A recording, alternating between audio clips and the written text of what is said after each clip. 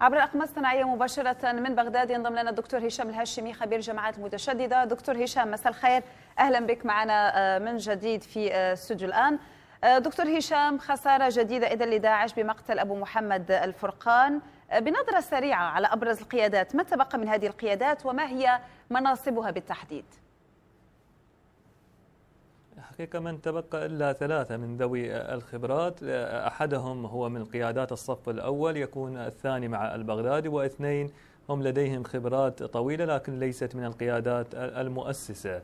اليوم من يتنصب على فرع العراق بحسب أدق التقارير الاستخباراتية هو أياد عبد الرحمن العبيدي الشهير بفاضل حيفا ويساعده على أمنيات العراق وسوريا أياد الجميلي الشهير بأبي يحيى العراقي.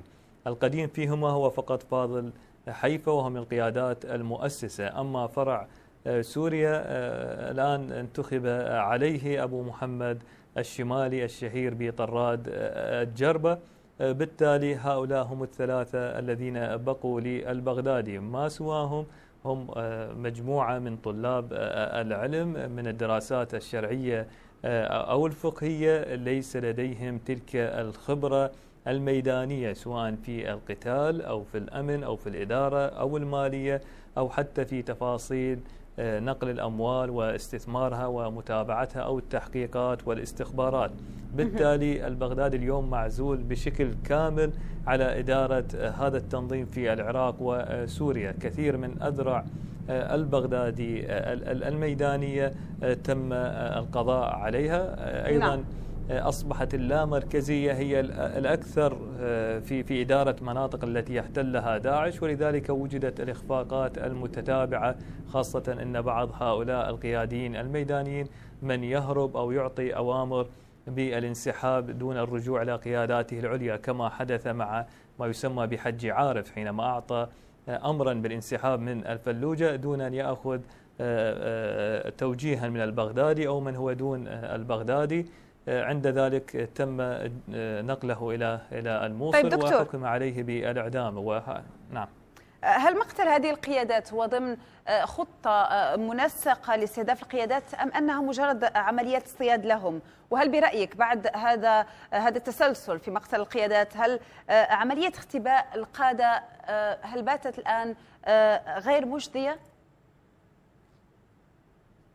حقيقة مقتل القيادات فيه كثير من المعاني الأولى أن التحالف الدولي كان حريصا على إفراغ هذا التنظيم من القيادات التي تعتبر أركان ثباته أركان إلهامه أركان استمراريته.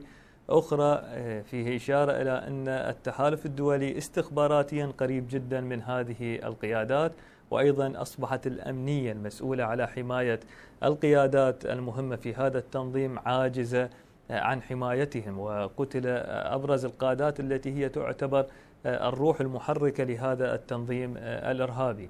أيضا الكثير من عوام هذا التنظيم من من ما يسمونهم بالأتباع الآن لا يمتلكون أي معلومات عن القيادات الجديدة كونهم لا تاريخ لها وبالتالي هذا أفقدهم القدرة المعنوية على الاستمرار وأيضا أفقدهم عن أن يكونوا ثابتين على منهج هذا التنظيم المتطرف. ولذلك نجد كلما كانت صدمة القوات البرية قوية. نجدهم يهربون وهذا ما حدث في القيارة والشرقاط أخيرا في في جبهة العراق. طيب دكتور نعود إلى موضوع أبو محمد الفرقان. رغم أنه مسؤول الإعلام في داعش لكن لماذا كانت شخصيته غير معروفة كانت مطموسة إلى هذه الدرجة؟ حقيقة هو لم يكن يعني إلى إلى هذه الدرجة هو مرموقا. هو كان مسؤول على الإعلام الإلكتروني في التنظيمات السابقة لكن حينما انعزلت داعش عن القاعدة نعم أصبح هو أبو محمد فرقان لأنه هو مؤسس ما تعرف بمؤسسة الفرقان ومسؤول الديوان الإعلام المركزي المشرف على صحيفة النبأ المشرف على مجلة دابوق بالإضافة إلى المشرف على تلك المؤسسات الفرعية الحياة أعماق أجناد وغيرها من المؤسسات التي هو يتابعها. سريته ترجع إلى صفته السابقة. هو كان ضابط في اختصاص إعلام إلكتروني أيام النظام السابق وبالتالي هو كان يتمتع بالخبرة التي أخذها من تلك الدولة السابقة. أيضا مساعديه كان يعتمد على مساعدين كلاهما الآن مجهول المصير أنيس الشهير بأبي دعاء وأيضا شخص آخر الشهير بأبو زعيم الكرخي. كلاهما مهندس مختص كان يعمل أحدهما في التوجيه السياسي العراقي السابق والآخر هو كان مختص في الإعلام الإلكتروني. هؤلاء الثلاثة بالإضافة إلى كثير من المساعدين الذين هم من العراق وأوروبا والمناطق الأخرى صنعوا للإعلام ما هو عليه. كان هو هذا الشخص في أكثر من محاولة لصيده في, في, في العراق فشلت تلك المحاولات كونه لم يعتمد على حماية ولم يكن له سائق وأيضا كان يعتمد على طريقة التواصل مع شخص واحد وهو ما يسمى بالبريد الشفوي لم يعتمد حتى أي بريد إلكتروني. طيب لائحة خليفة البغدادي نلاحظ بأنها تقصر يوم بعد يوم مع مقتل كل هؤلاء القادة. لكن هل تعتقد أن ما سرب من تسميات في هيكلية داعش الجديدة قد تكون نافعة؟